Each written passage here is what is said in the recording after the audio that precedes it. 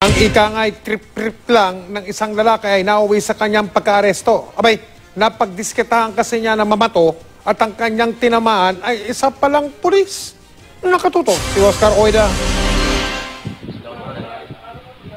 Trip to kulungan ang kinahantungan ng 28 anyos sa si Jetro Dabocol matapos mo ng pagtripang batuhin ang isang nakikipiyesa sa kanilang lugar sa may barangay Ramon Magsaysay, Bago Bantay, Quezon City noong January 22.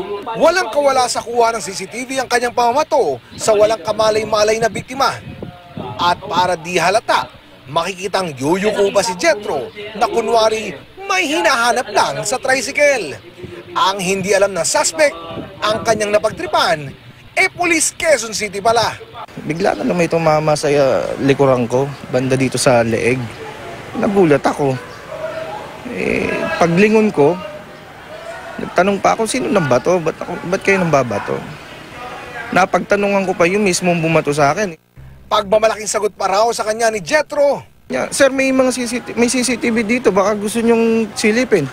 Siya pa nagsabi noon. Sabi, Kaya ganun na lang ang gulat ng biktima nang masilip na nila ang CCTV ng barangay. Ah, yun nga, siya, siya mismo, siya mismo yung bumato sa akin, napagtanungan ko. Palusot ni Jetro. Dala po talaga ng sobrang kalasingan lang sir. Dahil simula po umaga hanggang gabi nga po, yun nga po, nagiinom fiesta po. Talagang humingi po ako ng patawaran. Sana po mabigyan po ako ng pangalawang pagkakataon.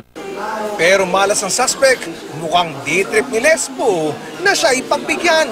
Balita raw kasi nito, talagang sisiga-siga raw si Jetro sa lugar. prior dun sa incident yung nangyari sa amin, meron pa siyang sinakal na tao.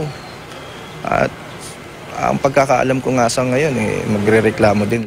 Oscar Oida, nakatutok, 24 oras.